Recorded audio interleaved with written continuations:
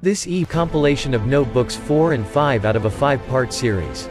After Eric Dollard's presentation of the power of the ether as related to music and electricity, which was delivered at the 2015 Energy Science and Science and Technology Conference, more work relating to J.J. Thomson was requested since the presentation ended with an overview of the clarified Thomson equations, which are foundational to the study of the physics of the ether.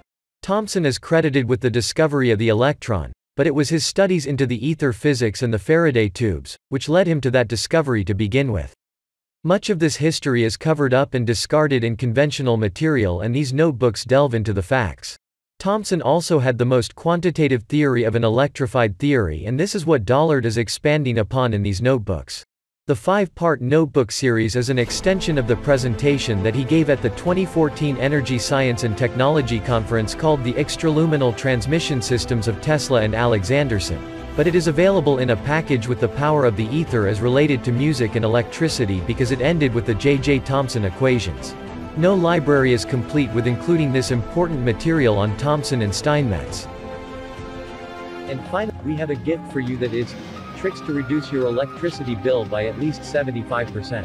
And the way to complete energy independence, get rid of the monopoly of big energy, you will never have to pay for electricity. electricity. Method, amplify electricity, to make output power greater than input power. See link in description. Thanks for watching.